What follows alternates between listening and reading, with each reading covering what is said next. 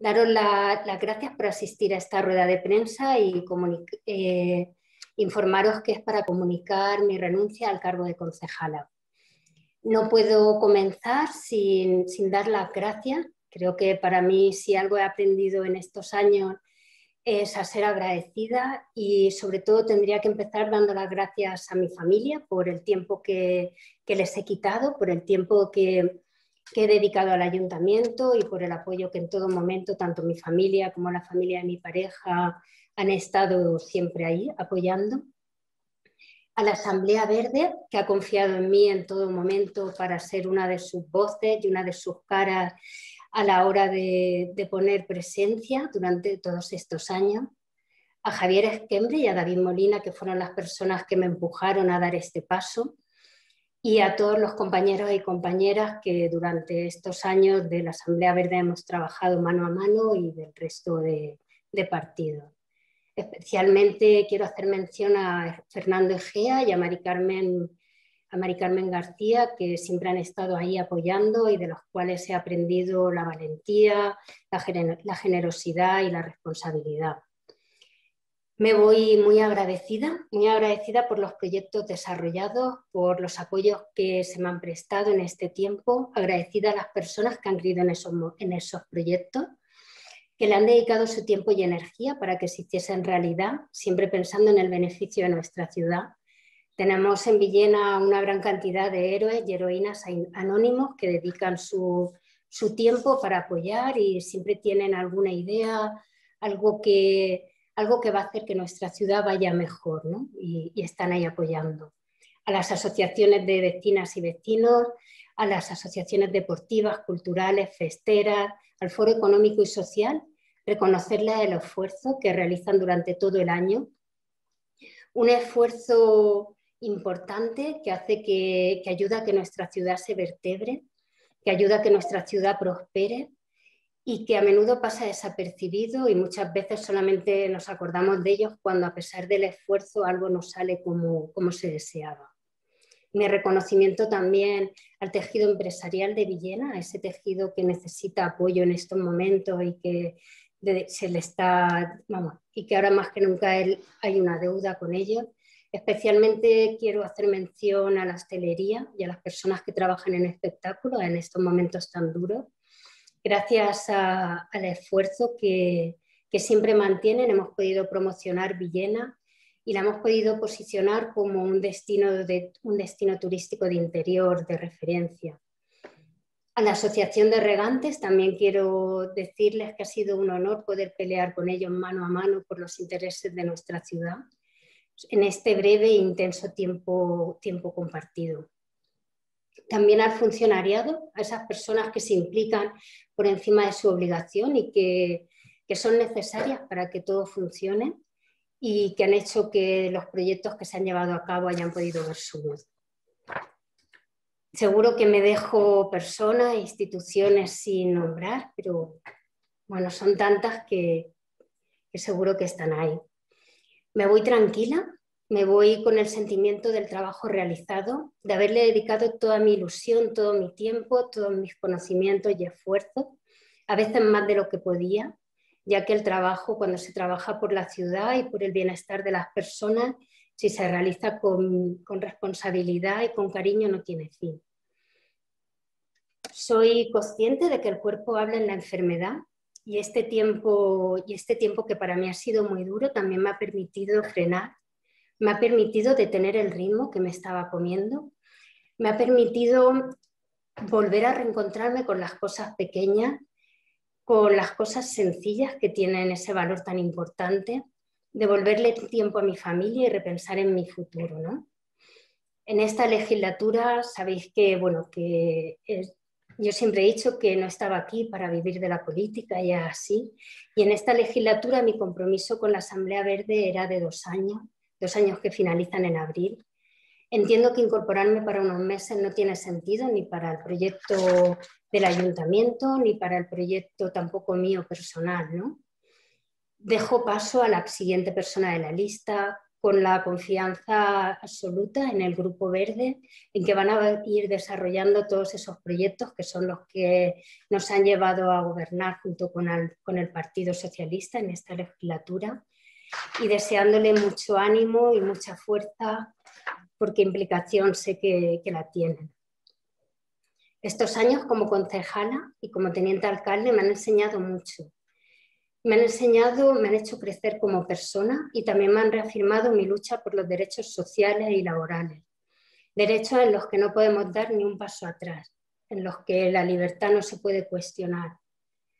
Me reafirmo como persona que aprende cada día a ser un poco más ecologista.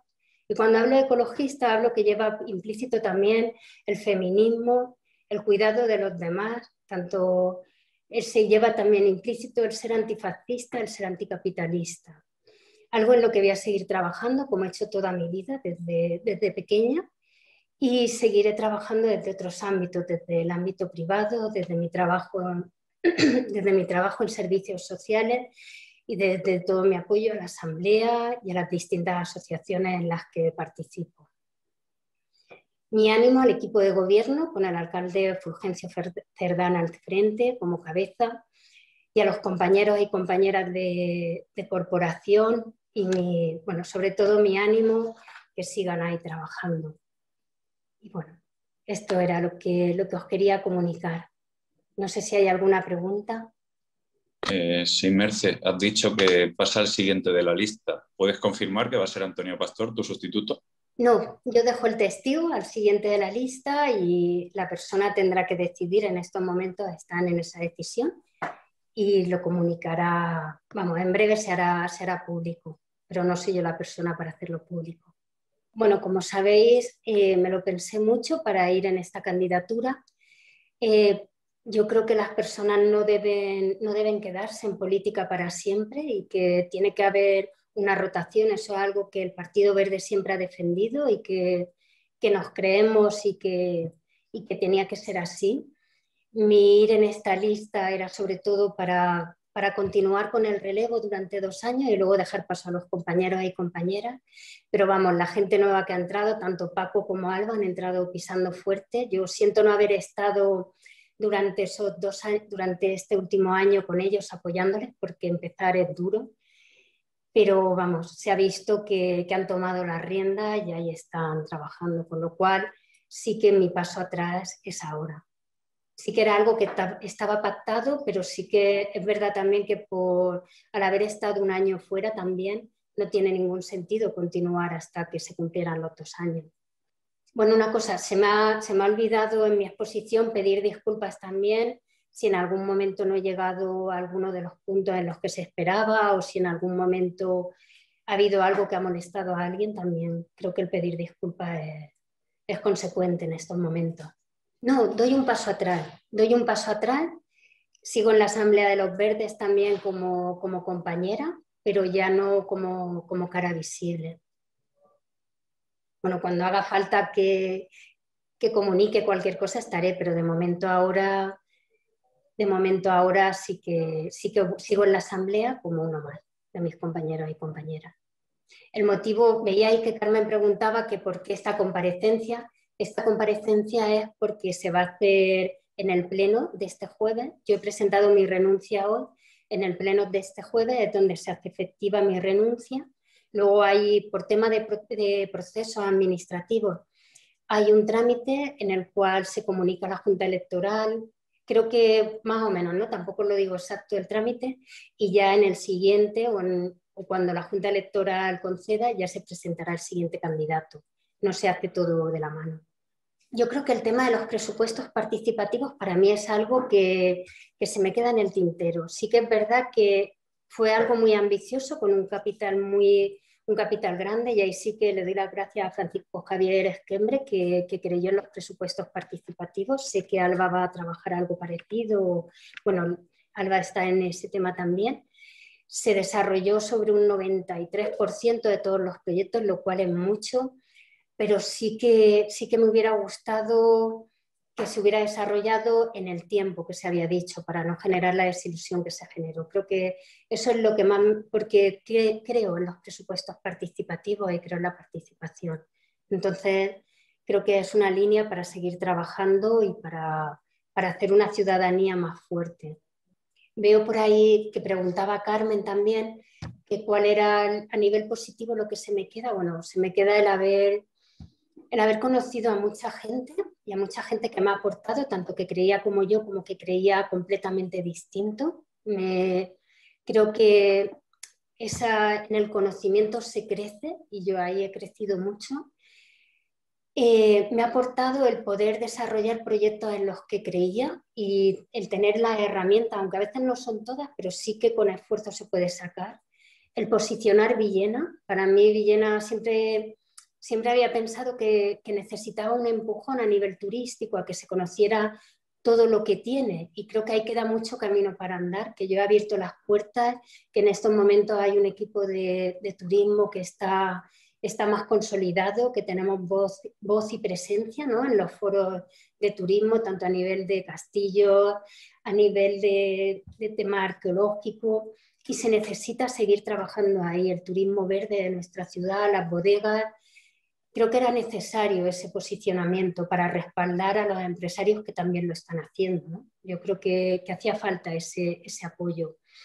Como negativo, no creo tanto negativo como la falta de tiempo, ¿no? el, cómo, conciliar la vida personal con la vida, de política, creo que es lo más, complicado, porque siempre hay una sensación de no llegar ni a un sitio ni a otro porque es verdad que son ámbitos que nunca se cierran, ni a nivel familiar, ni a nivel, ni a nivel de ayuntamiento. Entonces yo creo que eso es, la conciliación para mí ha sido lo más duro. Creo que todavía nos quedan ahí también pasos para dar. Si sigues las noticias sabrás que se ha hecho el traspaso de todos ellos. A nivel de, de presidenta de la Ruta del Vino hicimos el traspaso en diciembre, si no, si no recuerdo mal, ahora la presidenta de la Ruta del Vino en María, de bodega MG Wine, del grupo MG Wine, una mujer muy competente. Y a nivel de la presidencia de la Federación de Rutas del Vino, que creo que eso también ha sido un logro muy importante, ahí hemos estado trabajando muchas entidades para que se haga y era algo necesario. Ahora en estos momentos, desde hace 15 días o una cosa así más o menos, o un mes, está el presidente, el presidente de la ruta del vino de Castellón, eh, Sergio, no recuerdo ahora el apellido, disculparme, Sergio es la persona que va a estar como presidente, porque la, ruta, la Federación de Rutas del Vino hemos trabajado toda la ruta A1 y era necesario ahora también que fuera, que fuera otra ruta quien cogiera el testigo de la presidencia. Intercomarcal Televisión. Per a tu, per a tots.